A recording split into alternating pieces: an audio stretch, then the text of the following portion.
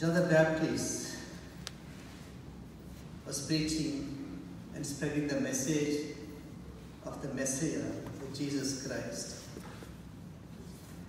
And he was speaking the truth.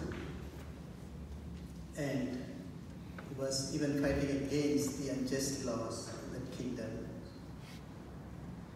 The elders and the priests arrested him.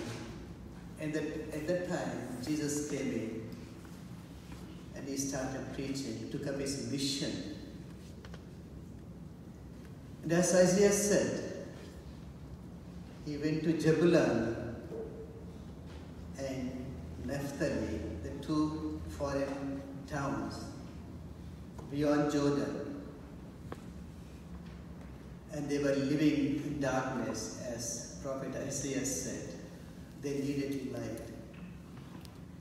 And so, as for Isaiah and his prophecy, on those dwelling in a land overshadowed by death, light has arisen.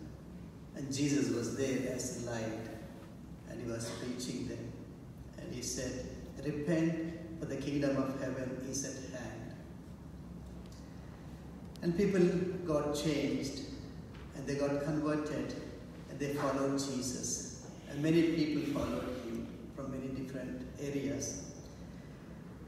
They saw light in Jesus Christ. They followed him. They got converted. They changed their heart and minds. And Jesus healed many of their illnesses. And we all received this light when we celebrated Christ's birth recently. And we still keep up that light in ourselves and bring this light to other people. The star showed the three kings from east where Jesus was born. And they followed the star and they came and worshipped Jesus. And they went back and proclaimed Christ. We may not be stars, but we can be candles to show light to other people, to bring Jesus, bring other people to Jesus whom they need. Jesus healed the people, sick people, helped them and supported them.